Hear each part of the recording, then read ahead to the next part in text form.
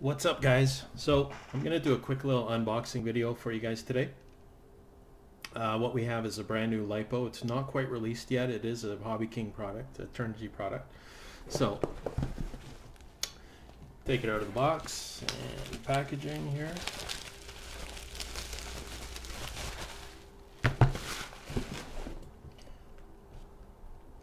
Okay, so wow, that's nicely packaged. Um, there's the box. It is a Turnigy graphene uh, lithium polymer battery as far as I know.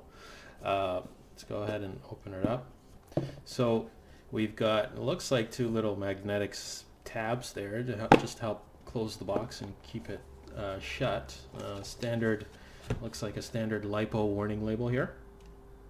So uh, I would say, yeah, do not puncture, handling and storage, all that. So sort of, um, you know, take care of this as you would a regular LiPo. Keep going.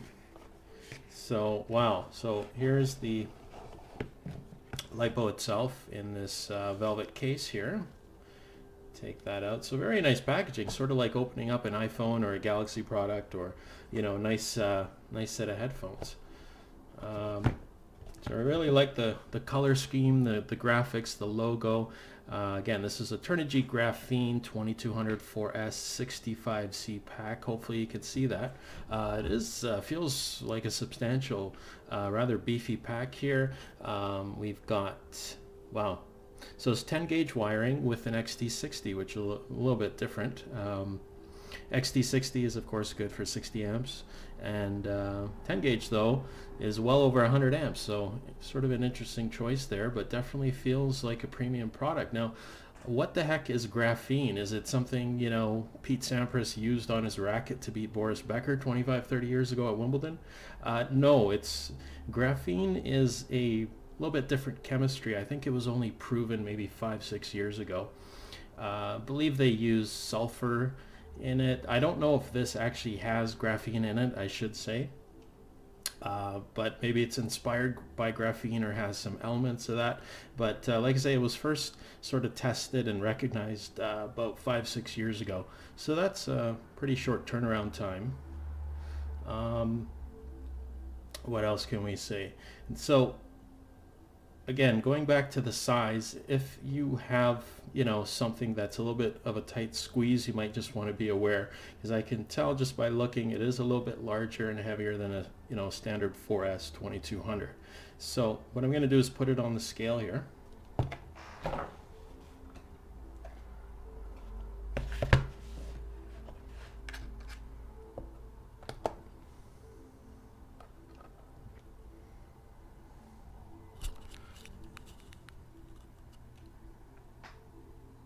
Hopefully that comes out. So there's the LiPo. Again, 4 cell 2200 pack. And so definitely 289 grams. So um, definitely a little bit bigger than your standard 4S pack of this size. You know, you're looking typically, especially in the, uh, you know, 45C and up, 65C, you know, 240, 250, 55 grams. So it's a good 30, 40 grams heavier, so just be aware of that again. Um, quite a substantial pack, but really nicely packaged. And uh, I should mention the other thing with the uh, graphene, just the initial reports that have come out. People have had these for a few months testing them. Um, one of the benefits is the number of cycles you can have. Um, I've heard, you know, well over 500 cycles with little to no degradation in performance and uh, you know, cell balance, that type of thing. So uh, that is definitely one of the advantages uh, is, is the longevity of the pack. Um, but it should provide uh, a lot of power, which a lot of people are going to be looking for in this type of premium product. So what I think I'm going to do is uh, maybe just give uh, one of these bad boys a run up in something I've got lying around, maybe a ducted fan. Um, not much flying around these parts this time of year, but uh, let's see if we can uh, at least get some results. So there you go. There's the unboxing of the graphene LiPo. Okay guys, so obviously we have something here. This is a uh, Great Planes L39. We just sort of uh, hauled it out of cold storage. uh, so we can do a little run up and, and watt meter check and, and the power check, see what time of uh, numbers the graphene actually puts out. Um, so this is very, it's a, it's a mini plane. It uses a Great Planes 56 millimeter uh, fan unit with their in-runner motor. I think it's something like 32 or 3400 kV. I do fly it on four cell. Uh, looks like the previous uh, owners have um, put some fiberglass cloth on the leading edges here just to give it a bit more stiffness and flies really nicely. Uh, you can hand launch it, you know, over 90 mile an hour.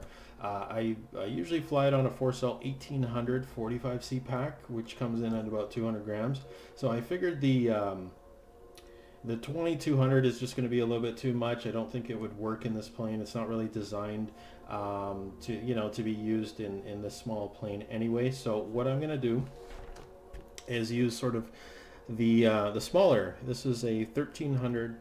Um, hopefully you can see that. That's a graphene 1300 milliamp 4S65C pack instead. So really nice pack. It is a little bit bigger, just like the other one, uh, than a standard uh, 1300 pack. Um, but again, it's 65C, really nice uh, 12 gauge wiring on this one, XT60. So let's uh, see if we can get some numbers here.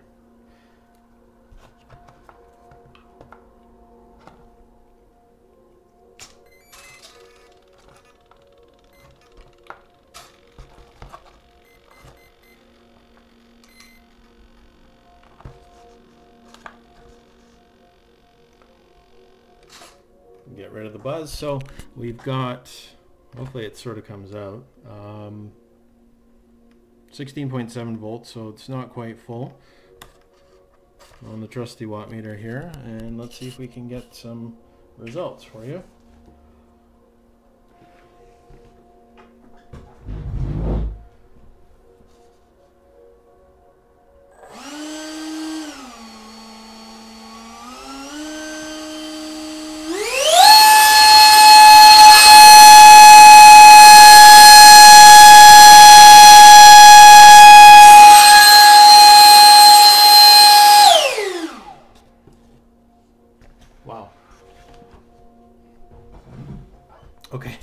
A lot of noise, a little bit of ringing in the ears. That's okay.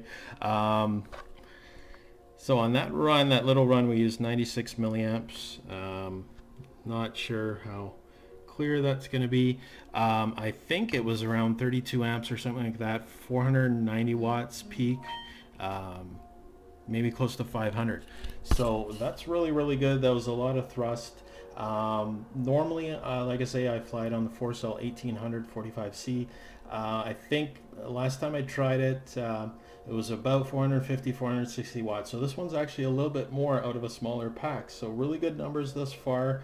Um, hopefully in the springtime I'll be able to get a lot of cycles, but uh, so far so good. There's the power test.